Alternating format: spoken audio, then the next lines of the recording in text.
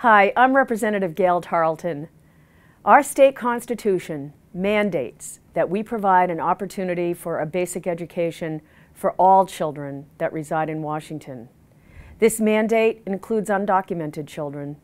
We invest millions of dollars educating these young students in our kindergarten through grade 12 schools.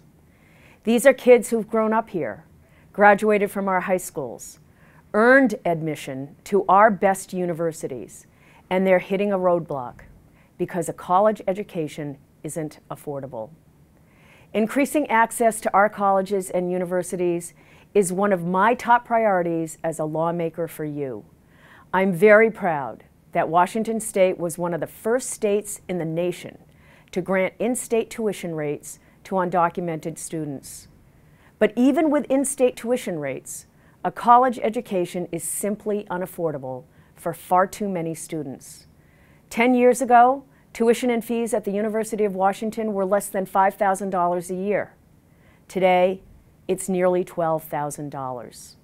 Like many of their peers, these young students dream about going to college. But those dreams are frequently crushed because they aren't eligible for financial aid. It doesn't have to be this way. I've had the pleasure of meeting several of these young aspiring citizens when they visited the state capitol here in Olympia. These are some of the best and the brightest minds in our state, and we should be doing everything we can to get them a college education. Because when they succeed, we all succeed.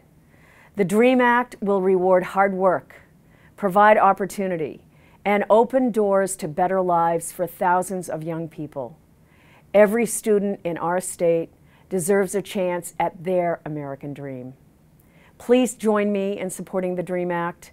I'd like to know your thoughts on this issue, so leave me a comment on my website or on Facebook or find me on Twitter. And if you believe, like I do, that all students should have the opportunity to go to college, please consider sharing this message with your friends and neighbors. Thanks for listening.